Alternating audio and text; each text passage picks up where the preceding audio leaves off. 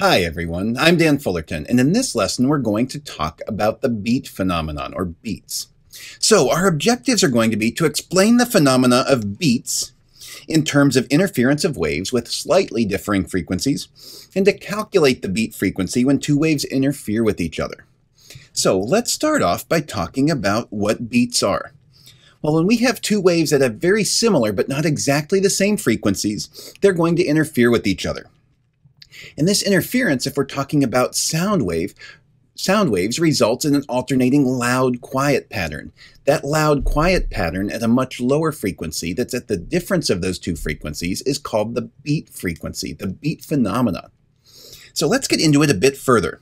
If we have, for example, a 4 hertz wave and a 5 hertz wave, and we're going to have them in the same medium at the same time, they can interfere with each other. When they do that, we put them together and they overlap and we add up all their amplitudes at all the different points along the wave. We get a pattern that looks kind of like this, where the overriding loud, soft pattern, the alternating amplitudes, is what we call beats. Now with the 4 and a 5 hertz wave, that's below the threshold of human hearing, so we can't actually hear it there. But we'll test it out with a higher frequency here in just a moment. The beat frequency itself, how quickly you get that alternating loud, soft pattern, can be calculated as the absolute value of the difference of the two frequencies of the waves that are interfering with each other. So if you had a 440 hertz wave and a 441 hertz wave, and they interfered with each other, your beat frequency would be 1 hertz. All right, let's check this out. Let's play a 440 hertz sound wave. By itself, not all that exciting. Now let's play a 441 hertz sound wave. Again, not very exciting by itself, and probably pretty tough for us to differentiate between those two waves. But if we put those two together, if we play the sum of those two waves, we play them at the same time, listen to what we get. All right, now are you hearing that beat frequency? You're hearing the beat phenomenon at a frequency of 1 hertz because the difference between our two waves, 440 and 441, is 1 hertz. Our beat frequency is 1 hertz then. Let's try it again. We'll do a 440 hertz sound wave.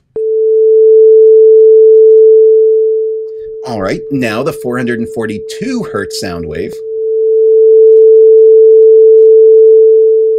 And now we'll put them together. Now we should expect a beat frequency of 2 hertz.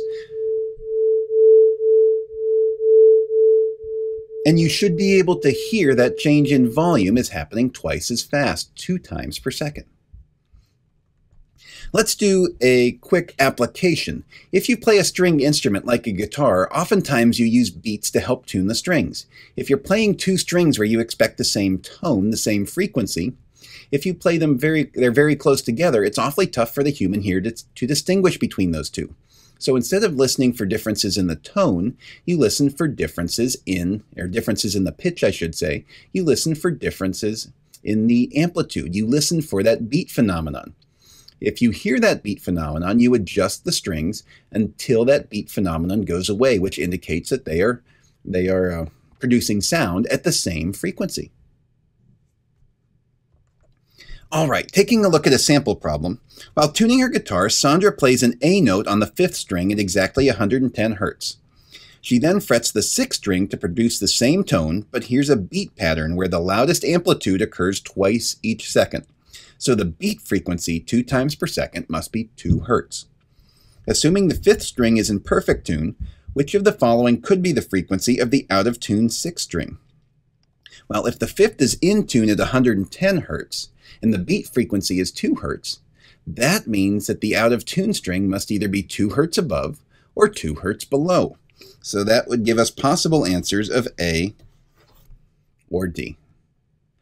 All right, hopefully that gets you a good start on beat phenomenon in the realm of wave interference. Hope you're having a great time. Thank you for your attention and make it a great day, everyone.